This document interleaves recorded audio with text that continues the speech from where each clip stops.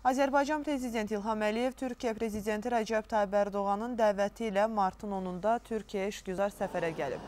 Hər iki ölkənin dövlət bayraqlarının dalğalandığı Ankaranın Esenboğa Hava Limanında dövlətimizin başçısının şərəfinə fəxri qarovul dəstəsi düzülüb. Prezident İlham Əliyevi Türkiyənin Energetika və Təbii Sərvətlər Naziri Fatih Dönməz və digər rəsmi şəxslər qarşılayıblar.